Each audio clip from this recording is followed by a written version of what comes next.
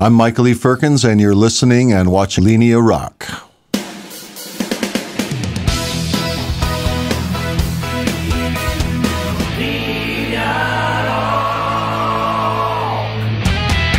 Hi, Mr. Firkins, Michael Lee Firkins. Welcome to Italy and welcome to Linea Rock. Thank you. Our Thank you. pleasure to Yeah. have you here. Oh, my pleasure. So, class of 67, and you're active as a musician since 1985.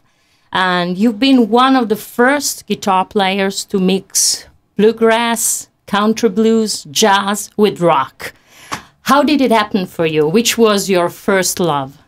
Oh, of course, rock and roll. Okay. Yeah, yeah. But my my father liked uh, a little bit of country and Elvis Presley and all those kind of things. So he he showed me um, some country artists, mostly guitarists, and uh, but I was heavily into rock and roll. So I only listened a little bit to what he was saying. But later on, and I got more into it, and probably when I was about 20 years old, and I started uh, incorporating different styles with rock and just experimenting.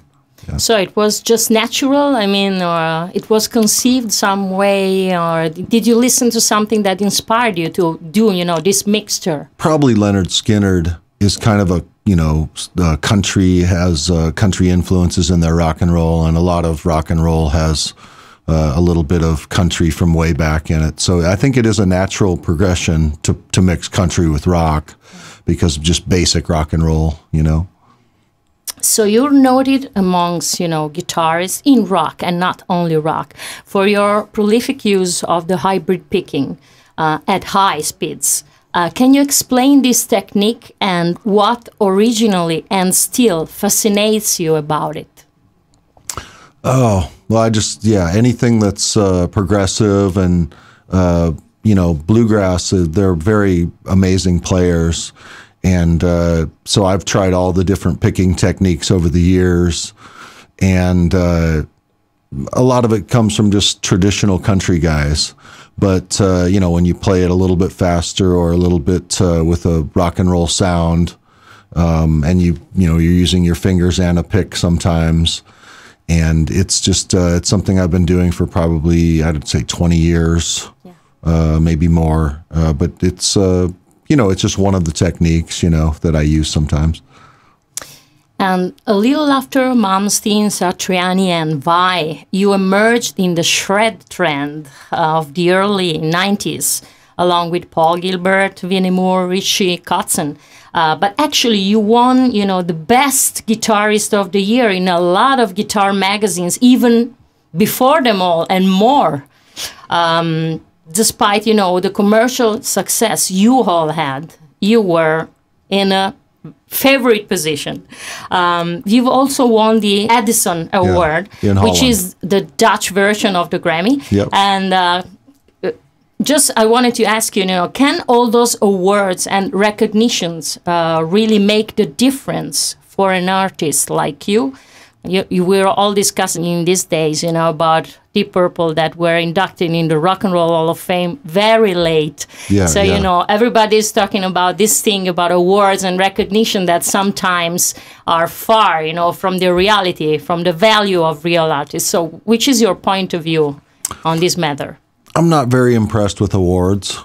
So you know it's fun for about one day. You know, you wake up, someone says, "Hey, you won an award," and oh, good. I think I'll go out to lunch today, and and it's fun. You know, you feel good for one day. You know, maybe you have a vacation for a day, and then it's back to work the next day. You know, um, so I maybe didn't enjoy those things as much as I, I could have, but uh, again, I don't think it's you know I appreciate the people who give them to me, but I just keep working every day. So um, it's all about the music and and how happy you are inside. I mean, it's that's really what it's about. So did they happen some way you know to to help your success because you know the name was I don't think so. around. I don't think it helped because I think the music biz changes so quickly. yeah You know, I mean, there's you- you just uh, you never know what's about to happen next, and uh, you know, the internet didn't even exist when I started making records, so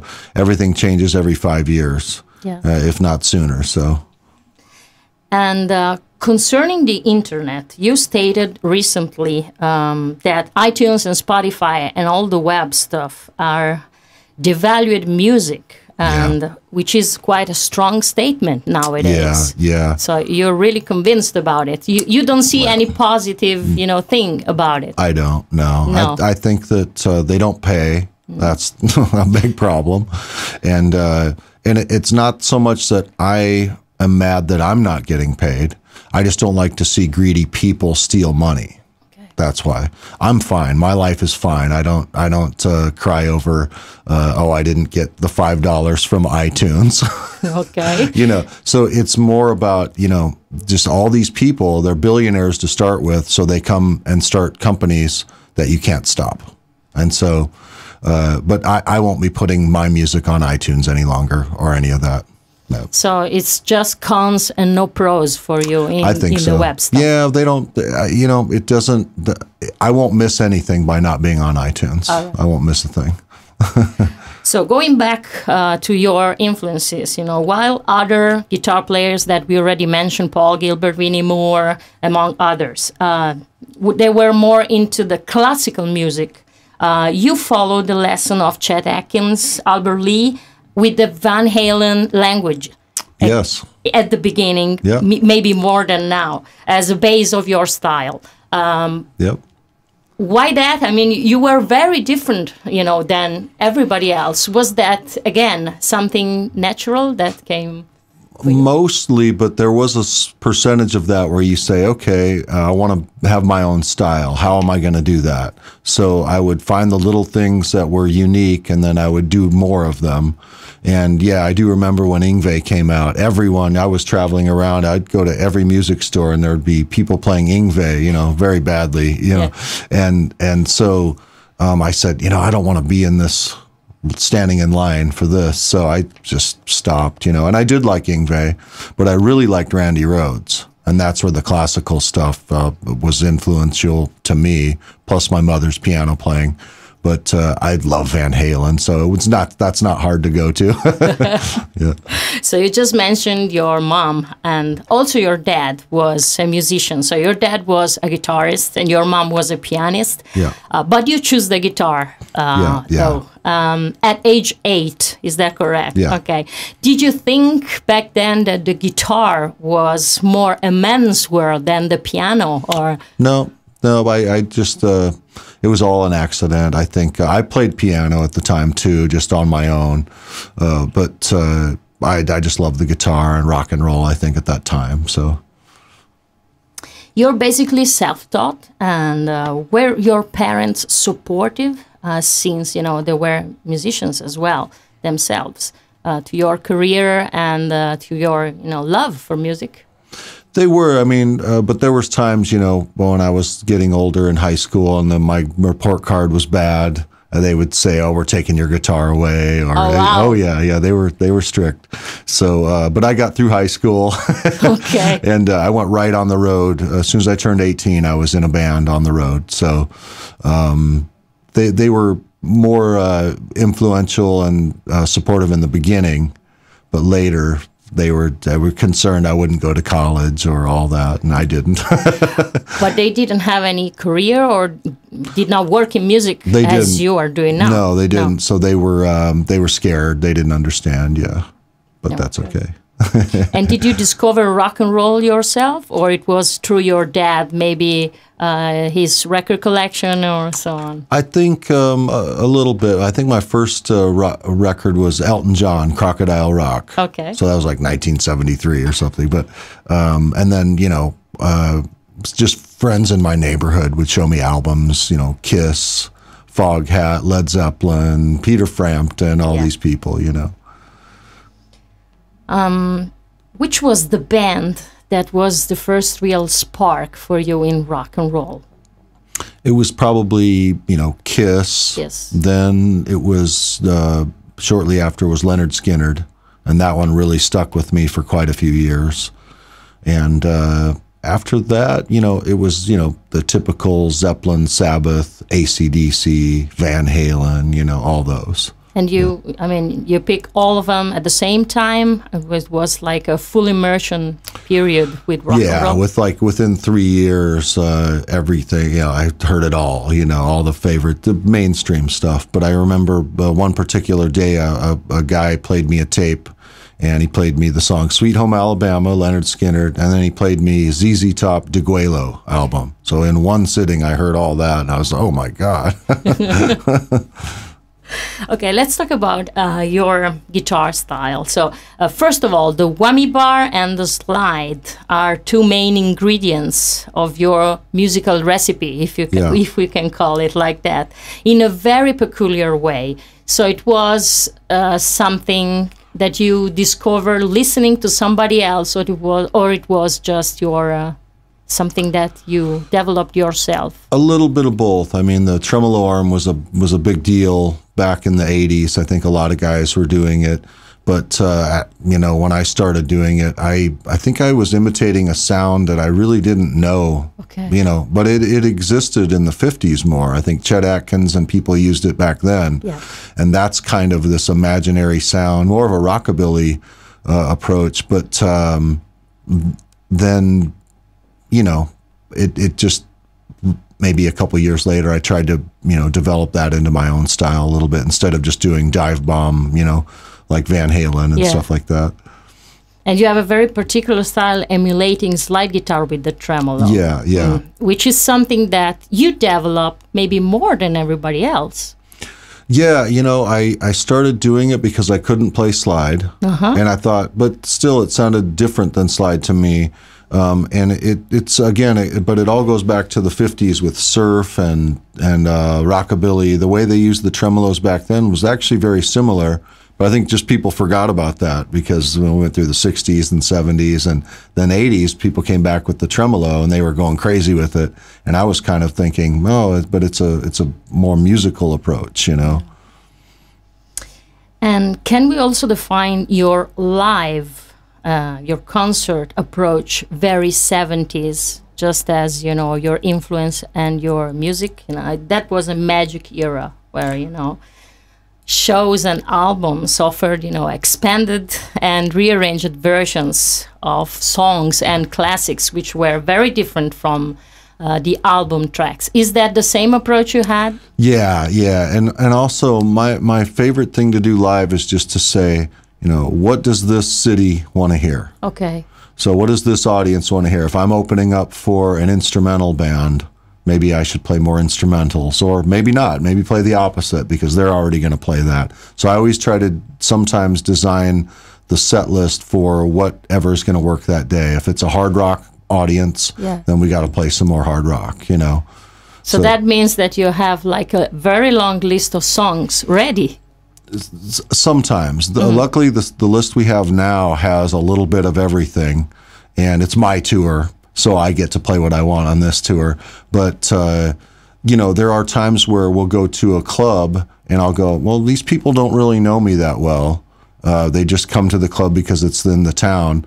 And a lot of the people just want to hear vocals and songs, so they maybe not are into the instrumentals. So we'll do more vocal songs and uh, that's the the most important thing I think is to, you know, when there's just normal people, they're not musicians, they don't want to hear the musician stuff, they just want to hear rock and roll. Yeah. And so that's I, I like to be able to just provide that if that's what they want to hear. So Do you rehearse a lot with your band, or you keep it, you know, spontaneous the most? Uh, oh, it's a, the on on stage. It's all spontaneous. We get. I think we rehearsed uh, twice, and then uh, about two weeks before that, about three times. So it's it's uh, we're not playing all every week rehearsing or anything like that. So How many musicians do you have on three, tour? yeah, Three. trio, yeah. Yeah, I'm doing vocals and guitar, and then Baron Cabois on bass and Chris Siepken on the drums. And what does it take to play with Michael Lee Firkins? Well, you gotta be able to play rock, but then you have to want to experiment with uh, uh, other stuff, and maybe sometimes we'll shred, and then sometimes no, we're gonna play real simple, and that's the key is you have to be able to play simple too. And what's your point of view about practice? You're uh, an artist that practice a lot when you're at home, or actually you have a different approach. I usually just uh, when I pick up the guitar every day, I'm usually I'm gonna write a song right away. Okay. So I pick it up, I put record on the iPhone, and I usually write something, and and it's uh, spontaneous, and I come up with it right away, and within 20 minutes, maybe I have a new song, and then I feel great about that, and so, but yeah, I mean. I've noticed I want to practice more lately. I want to I want to improve my techniques or stuff like that to where maybe the past 20 years I didn't care about that. I just said, you know, I just want to be an artist. How I feel today, that's how I want it to be. Yeah. You know, and and but now I'm realizing the older I get, it gets harder and you want to keep your technique. So I'm trying to practice now a little bit. So you use the iPhone, which is a modern tool. So sometimes, you know, modern culture can help and it, do- can be it does. positive. Yeah, because I can't remember the songs after I write them. I can't remember that I even did it. Yeah. So when I look back, I back up my iPhone. I go, "Wow, I, I didn't remember any of these songs," and it's really weird, you know. But uh, I'll go, "Wow, I wrote something almost every day," and I'll listen, uh, thumb through it, and I go, "I don't remember that at all." And it's cool. It's cool to have it. Just it comes from a, a subconscious place, and it's done right away. and how did you do it back in the days when you didn't have, you know, so I didn't write songs very often. Oh, really? Yeah, I, every But- time I did a record, they would say we want ten songs on the record, and I'd always have like eight songs, and I never had the extra two, so it was always stressful to get the last two songs. But now I have you know a thousand songs, and uh, it's it's kind of strange. So this is another reason why you've been very selective and recorded about it's seven albums in you know 26 years Yeah, basically. Okay, so you're very selective also because you don't remember stuff that you write or uh, you're Yeah. really hard with yourself. Yeah, yeah, I am. Both Uh, things. But lately, it's been easier to write songs, and now that I have a lot more backlog of songs, um, it makes me feel comfortable. And more songs always come every day, still. But I have, you know, maybe 500 songs in the uh, in my work in progress. yeah that I could use if I needed to come up with an album quickly. You know, I could pick. Good. And um, so we, we just said that you are completely self taught. Um, as a guitar teacher, did the fact of being self taught influenced your approach to teaching? A little bit. I mean, I don't read music very well, but I can still draw out scales and things for people to uh, practice. And, you know, when I used to teach, kids would bring in their favorite song. They'd say, oh, I want to learn this song. And so I would learn it for them. You know, I can just use my ear and learn it. And uh, that's most of them, that's what they, they want to do, you know. And then I'd give them a few scales to learn or something. And this is for you the correct approach. I mean, the fact, you know, of emulating something that you like that can bring, you know, your passion to music and also to technique. Is that is Yeah, this I- the correct method? I think yeah, if you if you just teach kids uh, book stuff and they can't play their favorite songs, they're gonna yeah, it's a, they, they, they get bored. So they want immediately to be able to play their favorite song, even a little bit of it, and that's what they're most happy doing. So that's the best. You played also in some cover bands in the early days. Um, especially nowadays, there's the tendency, you know, to consider cover bands and tribute bands the worst enemy by bands that are trying to make it with their own original music. And that Yeah. because you know club owners usually hire you know cover bands because people prefers to hear music that they already know and like and so on. What's your opinion since you've been on both sides of the barricade starting in cover bands and then making a career you know with your own music Well, I still play covers live quite a bit. Yeah. So we we throw in maybe five covers a night, and uh, but yeah, it, it's kind of weird when people dress up like other people. That's a difference than playing covers. So uh, you know, no one would have thought this would be happening so much in 2015, 16. You know, but uh, you know, I think for the people doing it, it's probably fun. I mean, I love playing my favorite old songs. Um, but yeah, sometimes it's frustrating. You know, you go, you play a gig, and not as many people are there, and then you look the next night, and it's an ACDC tribute band. It's it was thousand people sold out. It's kind of like what what world are we in? But uh, it's okay. I mean, there's nothing we're going to change about that. Um, but yeah, the club owners should probably support a little more original music. But I don't know. How is it in the states? Same thing as in Oh, Europe. You know, way way more tribute bands than- Really? than, here. Oh yeah, it's almost exclusive. Seems like, but you know, it's it's just the way it is. It makes me proud to play originals. So I'm proud to just be doing my thing, and I'm happy about that. Another thing you've been involved in is the Dos Dos Amigos. How do you pronounce that? Yeah, Dos Amigos. Okay. Yeah, yeah. Uh, which you teamed with Gabriel Moses. Uh, and actually, this duo was compared to Tenacious D. Uh, was that flattering, you know, to be compared to Jack Black and this band? Uh, and who actually came first with the idea? Them or the Dos Amigos? Oh well, we're not we're we're we're not really tenacious D. I mean, that's just uh, what what Dos Amigos is like. Cheech and Chong, Beavis and Butthead, Tenacious D, uh, Laurel and Hardy. Uh, you could uh, come up with the, the the pairs, you know.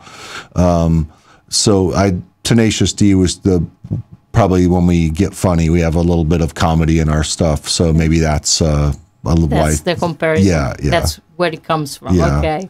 And you've been also compared very often to another guitar god, which is Mr. Guthrie Govan. Uh, Hmm. How how do you live that? And uh, do you actually see any similarities yourself between you and him? I'm not sure. I mean, he I met him once and he said he heard my first record, you know, 25 years ago and he Wow. said thanks for putting that out, you know, and he he was influenced by it a little bit.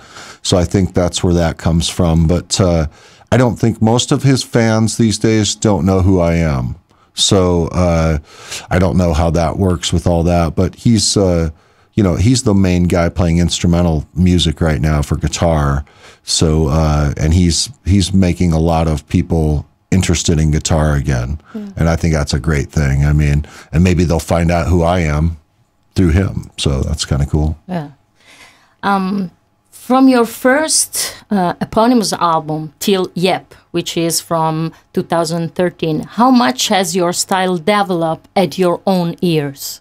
When you listen back, you know, to early stuff and compared to what you're doing now.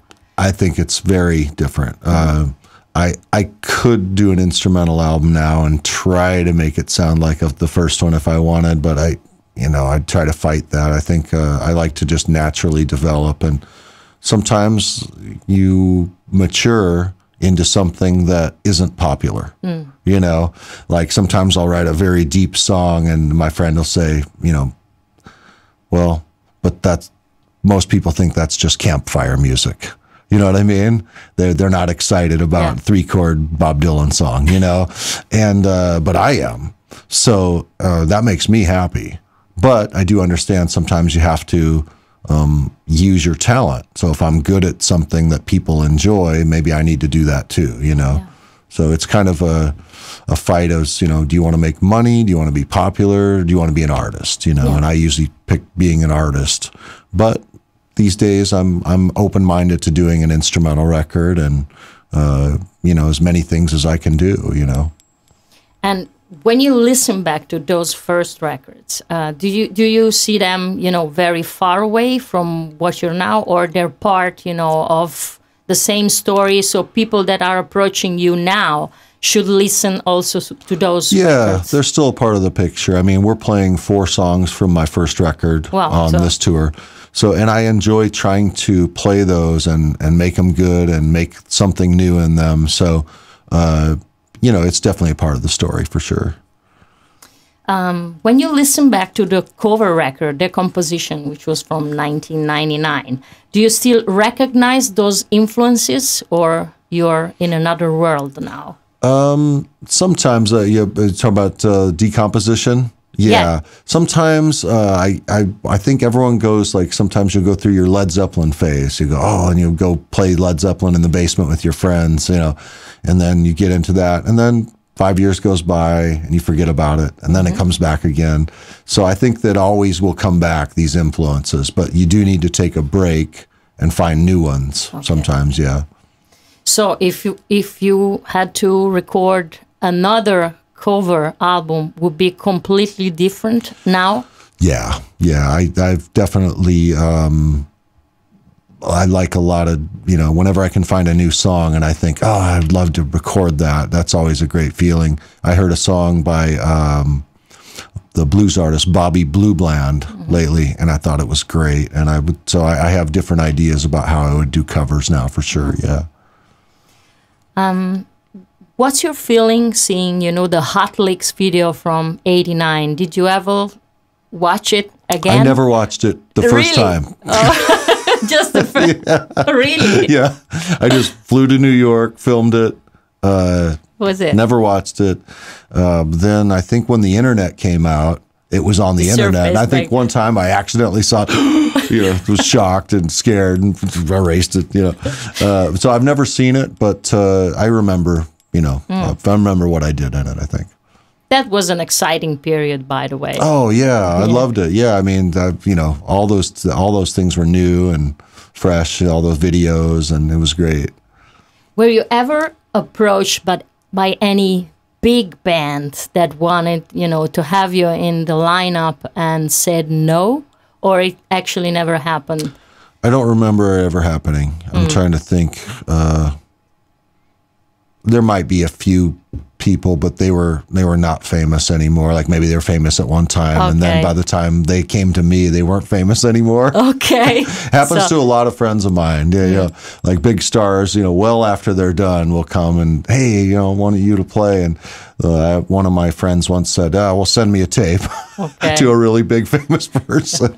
Must be tough. you know you had the looks, you you were an amazing musician. So you know, I mean, uh, even now, you know, if any band like I don't know Guns N' Roses would call you, would you accept, or you have uh, a different vision, Um, I'm- totally different? Oh, I tried out for Guns N' Roses when they uh, were looking for a guitar player. Really? Yeah. Oh, yeah, so yeah. you did. Yeah, okay. yeah. This was probably seven, eight years ago. wow. Um, and I, I was probably down to the top three guys. wow. But you know, I went there and I saw, you know, Axl wasn't even there. Mm-hmm. So I mean, you're pretty much paid a lot of money to rehearse all day without Axl. Wow. So I thought that's not what I want to do. Okay. but but uh, I, I have no interest in being in big bands anymore. I'm really happy to do my little shows, and it makes me very happy just to do that. And concerning your gear, uh, how did it change since you know the Gibson SG and Fender Princeton Reverb amp from you know '79 to now? Uh, very, I mean, you change a lot of instruments and amps, or basically you stick to be you know something that was uh, comfortable for you. Yeah. Um, I I have all I have probably 30 guitars. So I have all the different food groups. I have the Gibson SG and uh, Strat, Tele, Yeah. Gretsch. So at home I play all of them. And there's not a favorite at all. Oh. It's it's more about when I play live, I have to have something that can do the most songs. So, but I love uh, uh, SG still, and I have one, and the original one. Uh, no, I don't have that one. I sold it, and I wish I never would have. Yeah, bad, Oh. Yeah. bad decision. one regret. oh yeah, that is one regret. yeah, Was that an old one? it it was. Um, it wasn't a '60s one, but it was an early '70s. Okay. But it it just meant a lot to me, and uh, but at the time I was you know interested in new gear, and I just thought, uh, and it wouldn't stay in tune at all. So I got a guitar that stayed in tune. I was like, yeah. Maybe the internet can help you to find it back. no, I know the, I know the guy. I already tried. Oh, but it, said someone painted it and then he sold it somewhere. okay.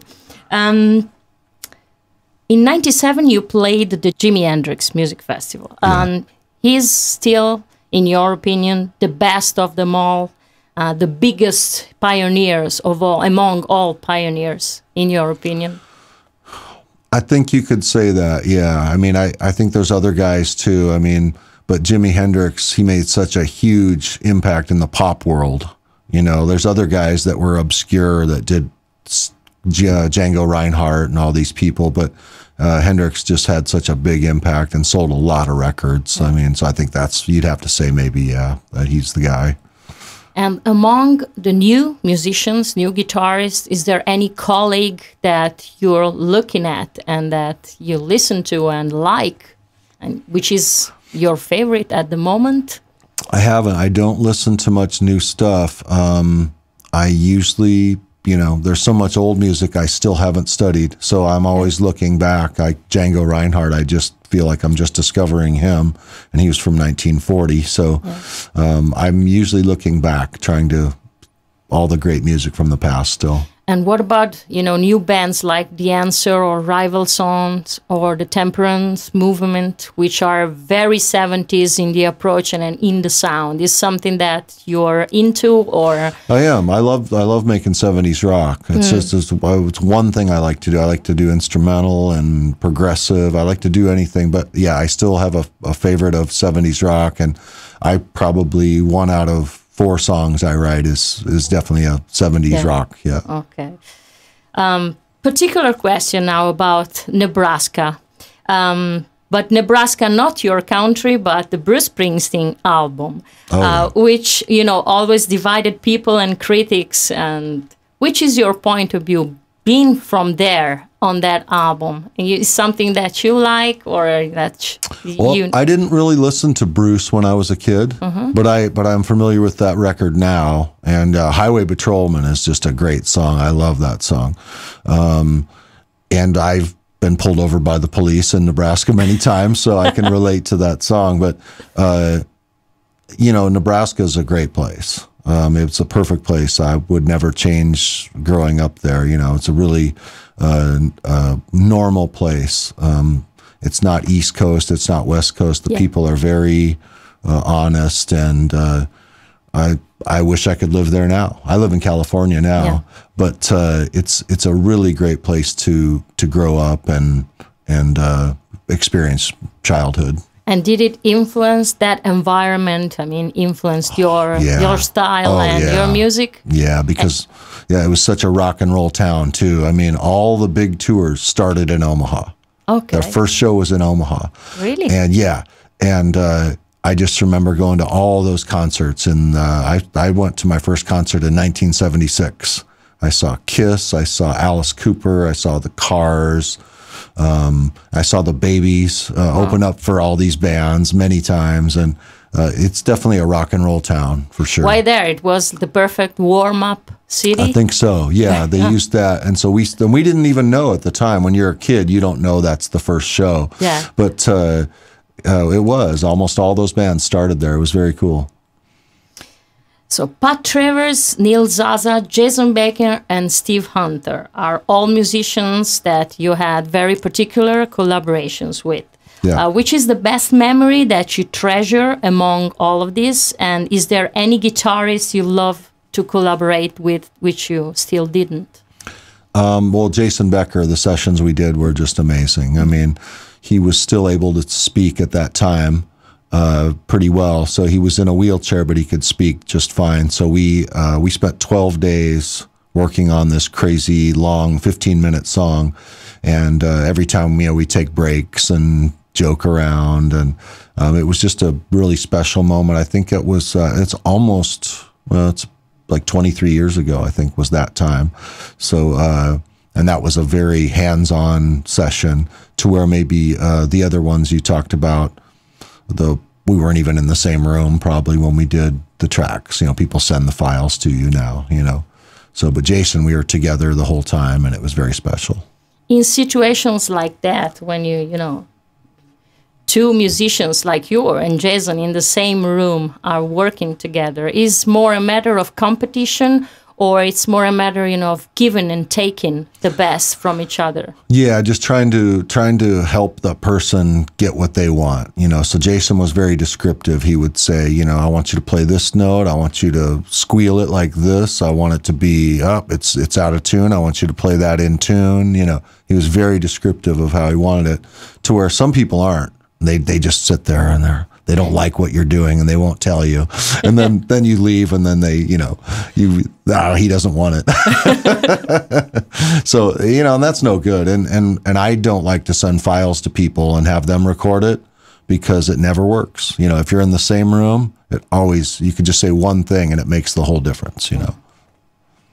so you're on tour right now in europe uh, you've done belgium germany now you're in italy then you'll be in france uh, then you go back to the states and uh, Yeah. for more shows so what would you say to invite people over at your new live show in the town near them, which is your perfect invitation to come. Well, we're going to be playing old songs, which some people know from my early records, but also, you know, uh, I'm 48 years old and I want to kick ass, and that's why I'm doing this. It's not for the money, it's not for anything, but I want to be better. And so when we play every night, we are that's all we want to do. That's why we're on the road. And uh, we play covers when we feel that it's necessary. But we really, I feel like I'm better now than I've ever been. And uh, I keep working on the vocals and the instrumental. And when we get to play every night, you can tell every night we're getting better. Mm. So. Are you recording any material for a live album or something like that? Or is something that you're not interested in? Not yet, but I, I think eventually I will have to do that. Uh, but when I do, I'm going to do it in a recording studio mm. with cameras and record it like really pro in the studio like that. I think that'd be one of the best ways to do it. Um, but uh, we do try out some new material live. We have a, a, some new songs where we try out, and it's pretty fun. Is this an idea or it's in the plans actually to do a live in the studio?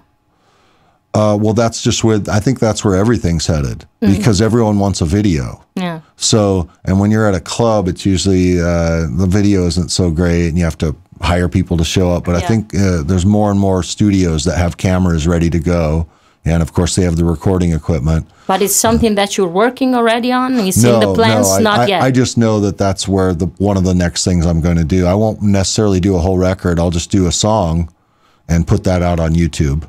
Okay. Yeah, yeah. And is there what's immediate, you know, in the next plans for you?